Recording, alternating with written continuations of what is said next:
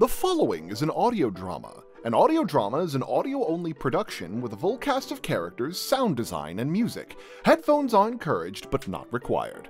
Please enjoy the show.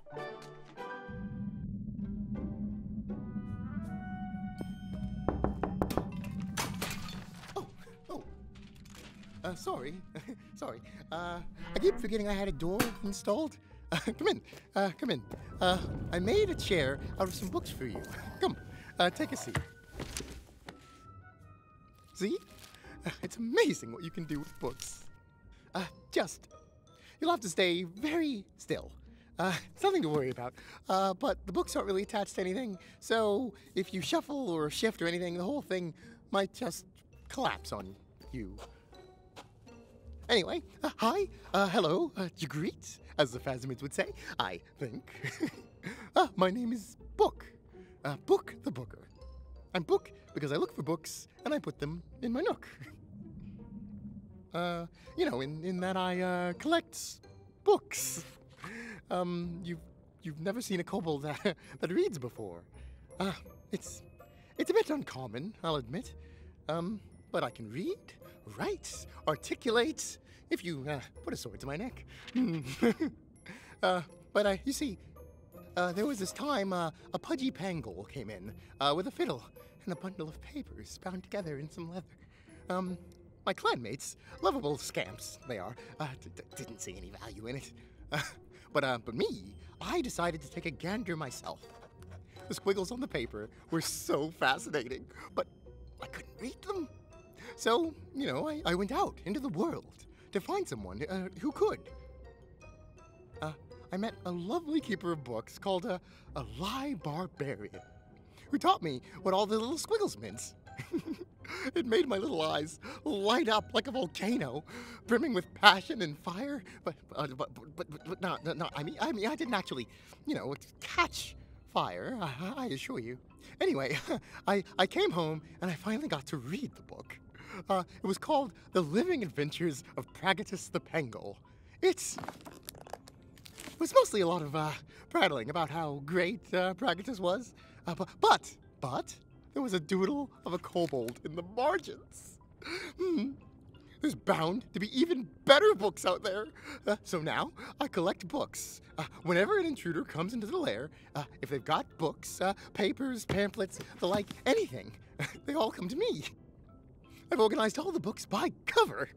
I've got green, blue, red, brown. I stack them all in big piles so I won't lose anything. Uh, except, except for the loose leaf.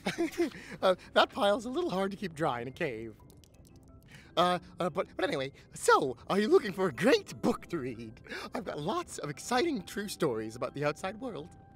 There's uh, The Legend of Mortem, uh, Myths of the Hearth, and one of my personal favorites, the entirely fictional adventures of Captain Sharkface. Oh, no? Uh, none of those are doing it for you? uh, well, uh, let's see. Um, how about, uh, oh, I know. Uh, oh, it's, uh, you're sitting on it. Uh, can I just. Sorry, sorry. Uh, I just, uh, I tried to make sure none of the books had, uh, had cliffhangers. Are, you alright? I'll take it by your silence that you're okay. This is. Draco Codex. Sorry, that happens sometimes. Eh, oh, uh, it talks about dragons of old from all around Hearth. Uh, see, uh, look, look, look. Here's my master, uh, uh, the Crimson. His wings are 50 feet wide. He can turn deserts into glass with his breath. And his favorite food, Arcanta sheepalope, very nutritious. Uh, I think you'd like this book. Uh, I'm gonna, I'm gonna sit over here in this pile. and I'm going to watch you read. Oh, uh, don't mind me. It's just, uh, you know, I'm, I'm mostly surrounded by people who can't read, so I, I'd love to see what it's like to share a book with someone. Go ahead. Okay, so maybe watching someone read is a little weird on my mind. It's fine. It's fine. Uh, look, there's tons of dark places in the cave. I, I, I'm just gonna go and gi- give you give you the privacy that you deserve. Um, you have a lovely, lovely read. just gonna go. It's gonna, gonna back, back out. Sorry, enjoy. Um, just to say, my favorite page is towards the back. I think it's page 478. T- ah, t- t- Okay, bye. Bye. Bye. Maybe I should have asked if they could read in the dark. Books Nook. Written by Kennedy Phillips. Voiced and sound designed by Elerby J. with assistance by Angie Sandoval. You just listened to a preview of Clutch, a Kobold story. If you enjoyed the show, why not consider backing us on Kickstarter? The link is in the description. We hope to see you there, Kobold friends.